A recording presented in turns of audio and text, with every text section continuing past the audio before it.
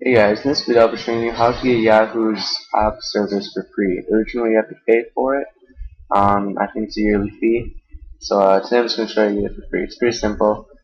Okay, so log into your Yahoo Mail account and then up in the options, go and choose Mail Classic and switch to Mail Classic or Yahoo Mail Classic. And then in the options again, go to Mail Options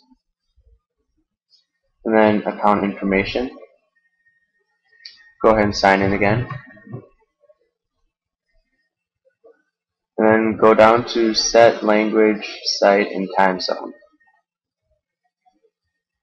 And then under regional site and language, it should be Yahoo US and English or wherever you are.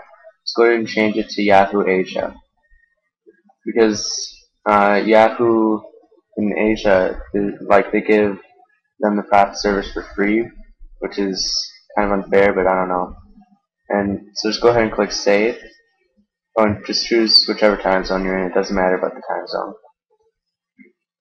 So when you click save, and then you can go back to your pop and forwarding, and then you have the pop and forwarding enabled. So there you go.